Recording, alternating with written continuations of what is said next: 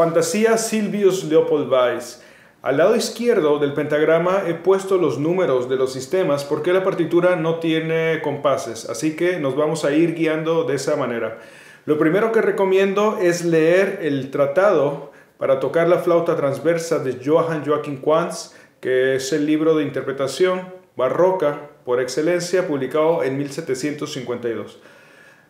Ahora, los primeros acordes que, o bueno, los primeros arpegios son realmente acordes desglosados como arpegios, así que voy a ir dando las opciones de digitaciones. En la partitura está todo digitado.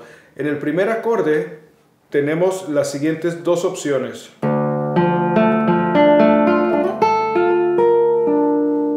Esa es la primera. ¿Qué nos hace hacer el desplazamiento de la primera posición hacia la quinta? La segunda opción es esta.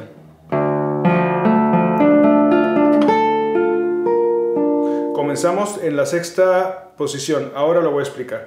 Lo vamos a ir practicando estos acordes de dos en dos notas. Primero toco el bajo de la sexta en re, el fa de la cuarta y el la de la tercera. Después el re y el la. Después el fa y el re. Y después desplazo fa y la, si bemol y re. De esta manera vamos a ir estudiando como si fueran bloques.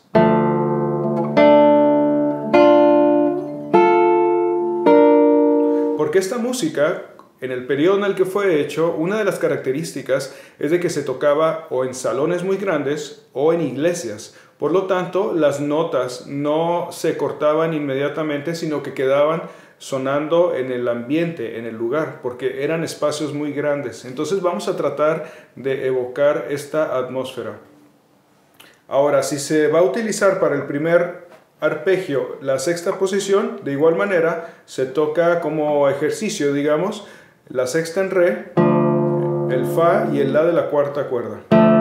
Aquí tengo tres notas, después el re y el la, el fa y el re, tengo el fa natural con el dedo 1, traste 6 de la segunda cuerda y el re en la tercera cuerda. Después ya me da tiempo aquí de cambiar al la y al fa el La en la primera cuerda, traste 6, y el Fa natural con el dedo 2. Después el Si bemol y el Re. Lo toco de una vez, una vez más.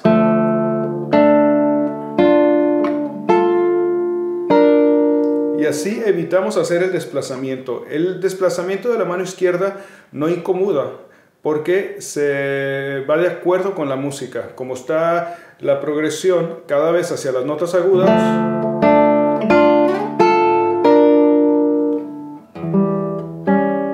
entonces no incomoda porque es algo natural. Pero si se quiere eh, evitar el desplazamiento, se puede hacer de aquí igualmente. De cualquier manera, se tiene que regresar al Mi. Vamos al siguiente acorde. Este acorde tiene la característica, es más fácil hacer el desplazamiento porque ahora tenemos dos cuerdas al aire, la de sol y la de mi. Este es sol y mi. La posición que yo he escogido para el desplazamiento es en la quinta posición usando el do sostenido con el dedo 2 en la tercera cuerda, después el sol en la cuarta, perdón, el sol en la segunda cuerda traste 8, el mi al aire y el la y el do. O sea que aquí prácticamente tenemos que hacer este desplazamiento solamente. En la mano izquierda, en el primer acorde, tengo las notas de mi en la sexta cuerda. Recordemos que, estamos que la guitarra está afinada en la sexta cuerda, está en re, tiene la escordatura en re. Por lo tanto, en el segundo traste es mi. El dedo 4 está en el do sostenido de la segunda cuerda y el siguiente desplazamiento que vamos a hacer es en la quinta posición que resulta muy fácil. Igualmente lo vamos a ir practicando de 3 o de 12 notas, dos notas cada vez. Tengo ahora mi y sol, do sostenido y sol. Después brinco, tengo mi do sostenido.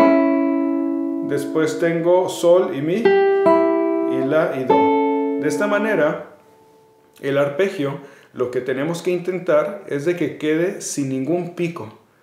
que no quede ninguna acentuación o que no quede ninguna nota por encima de la otra de manera, digamos que agresiva, para que esté conformando esta abertura, este fraseo, que prácticamente es un arpegio como, como si fuera un laúd o si, como si estuviéramos haciendo prácticamente solamente el acorde así, de esta manera.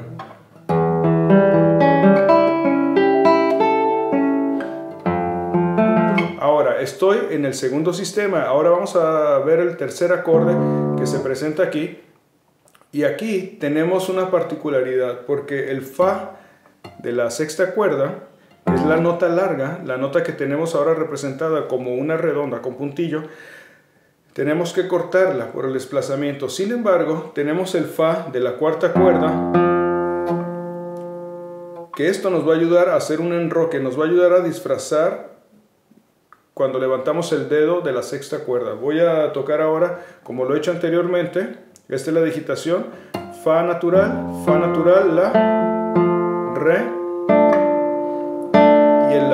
El dedo 2 es el que se va a mover del Fa de la sexta al La de la tercera. Sin embargo, no se va a notar el cambio porque yo en la partitura he puesto el Fa de la cuarta cuerda como una nota negra.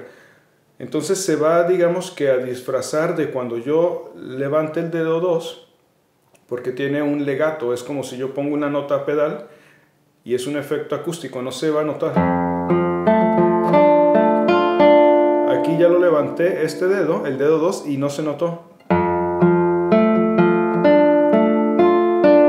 Y aquí tengo la digitación, comienzo tocando en Fa, Fa, La, Re, aquí moví el dedo 2 a La, tengo el Fa y el Re.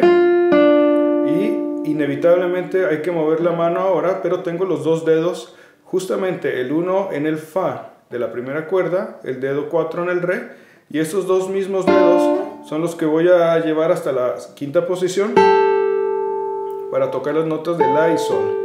Hay que evitar que se escuche eso, porque no es de acuerdo en esta época, mucho menos cuando vienen los saltos de los intervalos, que hay que cortar la nota.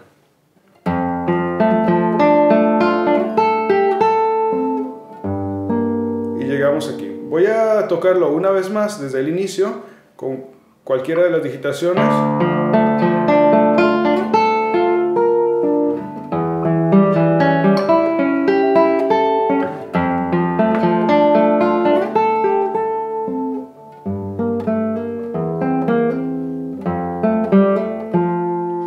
siguientes tres grupos es muy sencillo, prácticamente hay que cuidar ahora, la nota del bajo es la nota que va teniendo el movimiento, tenemos el bordado de esto. Podemos hacerlo o no con los ligados, puede resultar, ah, digamos que interesante, si podemos hacer las tres notas.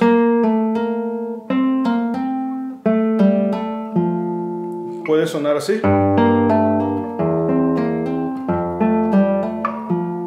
¿Qué es la conclusión de estos primeros tres acordes? O podemos optar por una ligadura. En este caso es mejor poner la ligadura de la segunda a la tercera nota porque esta es la que lleva la mayor tensión y la que va a hacer la resolución es la tercera nota. Por lo tanto queda de manera natural. Ahora, ¿cómo vamos a pasar de esa posición? Porque estábamos en la quinta. Tenemos el dedo 2 en el Do de la tercera cuerda, pero hay que cuidar que no se escuche no se escuche cortado. Yo puse una notación en la partitura que hay que escuchar porque este Do, tiene una conexión, aunque tiene marcado un silencio en corchea, pero recordemos que esta no es la escritura original porque viene en tablatura, nosotros tenemos la notación que normalmente usamos. Así que esa nota, usando el criterio que les comenté al principio de dejar las notas un poquito más sonar, con la idea de que se está tocando o en una iglesia o en un salón, entonces este Do no hay que cortarlo de una manera muy agresiva porque se escucharía acentuado sobre todo por el desplazamiento. Entonces lo que hago, pongo el Do y preparo el dedo 4 para que toque el sol, pero nunca quito el dedo 2 de aquí. Cuidado de que no se desafine al momento de hacer este movimiento.